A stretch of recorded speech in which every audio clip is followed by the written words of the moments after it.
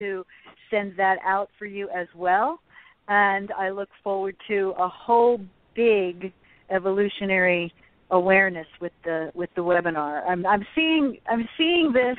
Barbara, as you are going to have a very powerful 2016 and 17. I just see you exploding all over the place.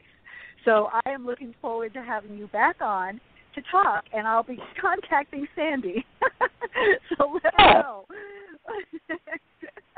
but this has been such a joy having you on. And again, audience, Barbara Marx Hubbard, her latest book, The Evolutionary Testament of Co Creation, The Promise Will Be Kept, and her webinar that you can sign up to, evolutionary.academy slash register. And that's going to start on January 6th, 2016, and it goes all the way through March 23rd.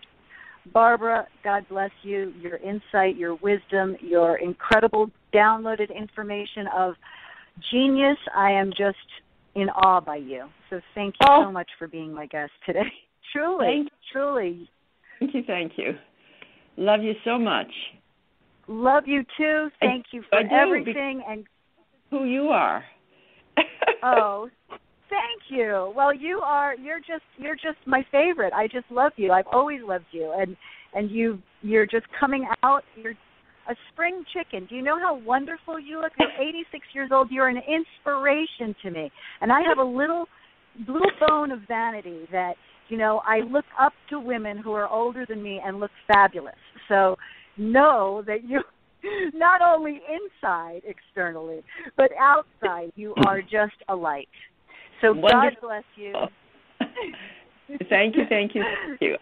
All right. Bye bye. you, Barbara. Have a lovely day. Bye bye. Now, audience, we have another wonderful guest to give you his wisdom and love and insight.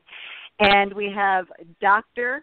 Mitch Tischler, who wrote a wonderful, beautiful book. It's really it's it's where Barbara's starts off with a, a tremendous amount of download, a lot of information. It really makes you feel, think, and realize and see things from a different perspective.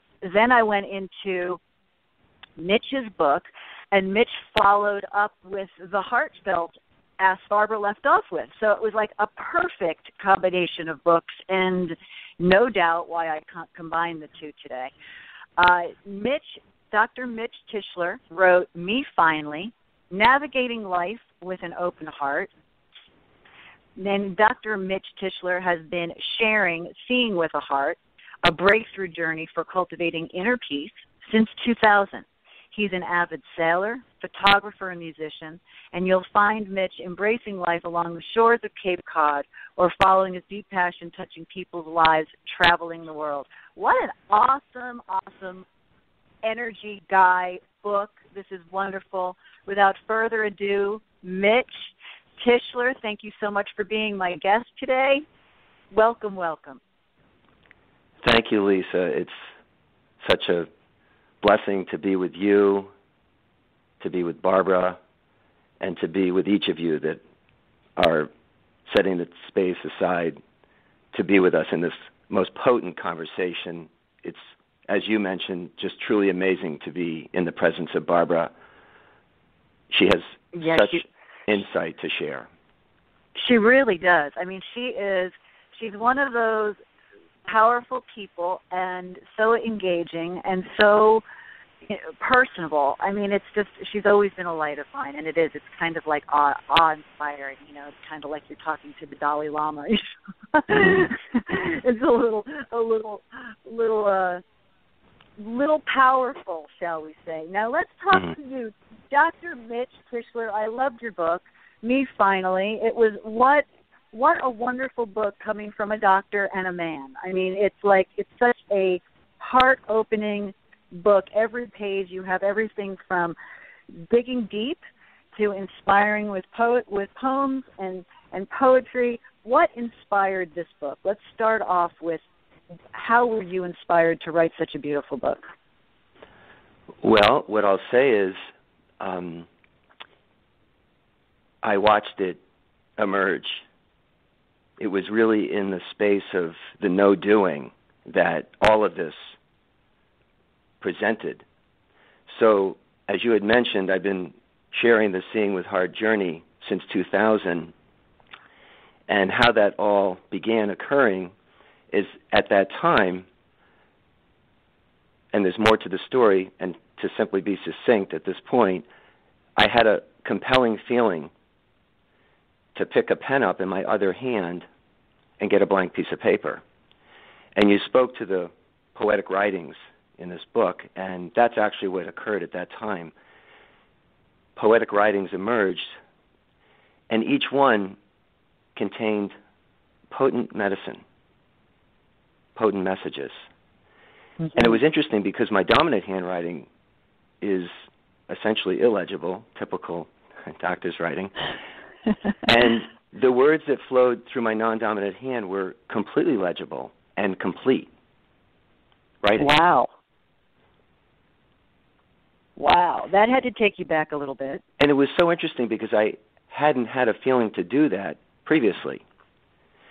And what occurred was as I would see a patient for whatever they had presented with, invariably because of the type of practice that we have, it's a very nourishing and nurturing space, our wellness center, because I do holistic medicine.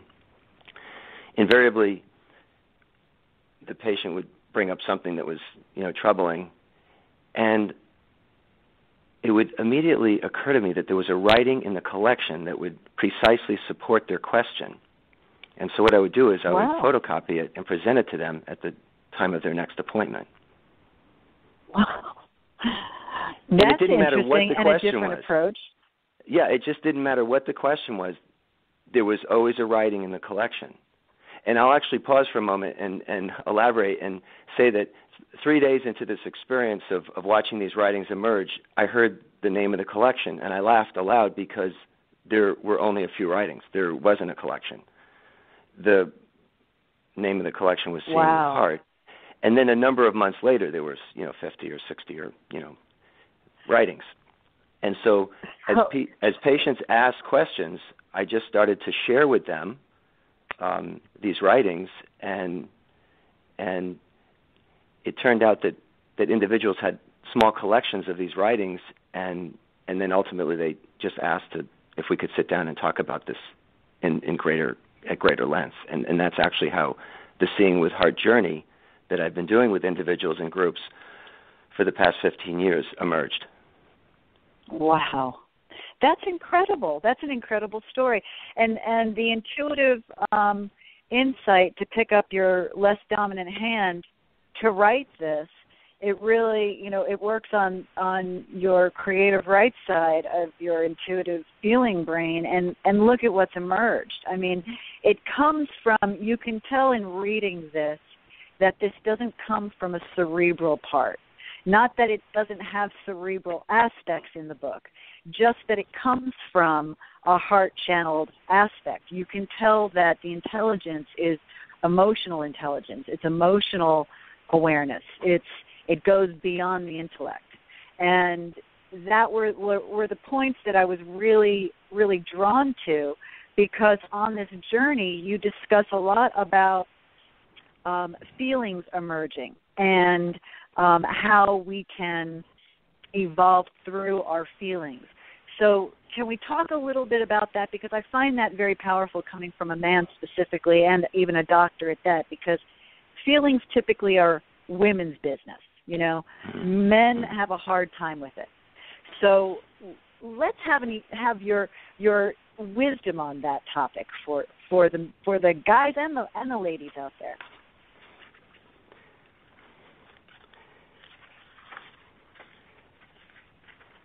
So How what I'd you... like to do is actually share with you one of the writings that speaks okay. decidedly to your your question.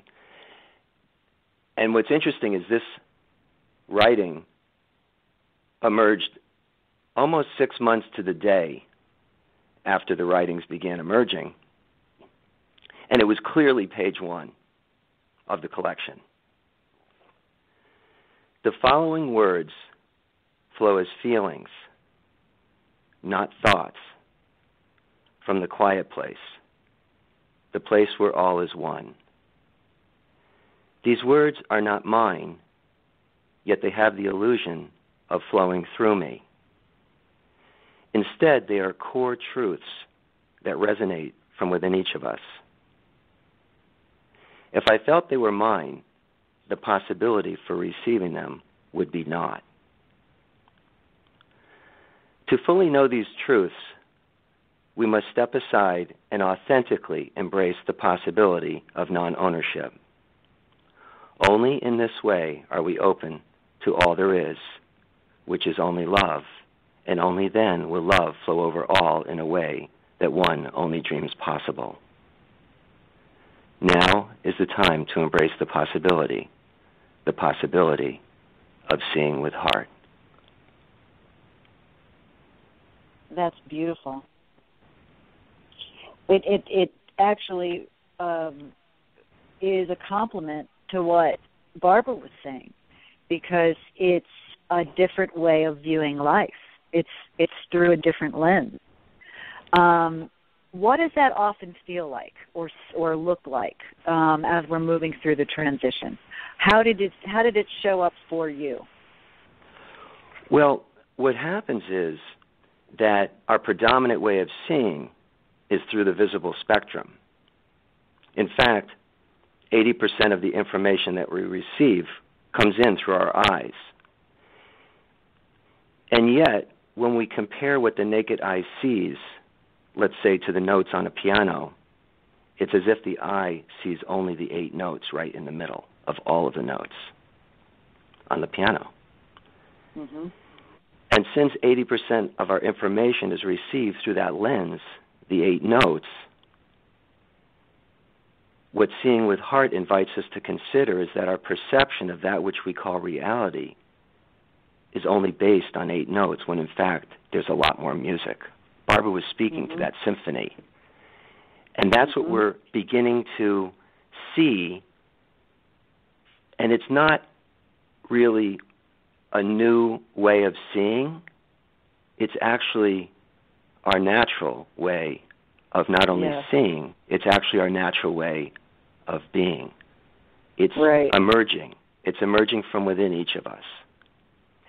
Great metaphor. I love your metaphor. That was great um, there's a there's a piece here where when we're going through change and we think we're opening up our heart, um, we approach a lot of things maybe through a different um, or more aware perspective, uh, more compassionate heart. We may um, have more tolerance. We may be more patient. But we also go sometimes two or three steps forward and then one step backwards. And when we're breaking through old paradigms to recreate a more expansive love, and those things start to show up, how can we, one, not beat ourselves up for maybe taking a step backwards and falling into an old pattern, and two, maybe stop ourselves from going into that old pattern. Do you have like an insight or a tool we could tap into and use to create that change in perspective or expansive love?